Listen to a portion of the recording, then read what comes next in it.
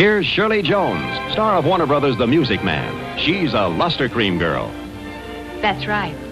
In Hollywood, we think there's no shampoo like Lustre Creme. I use the rich new liquid Lustre Creme because it leaves my hair shinier, easier to manage.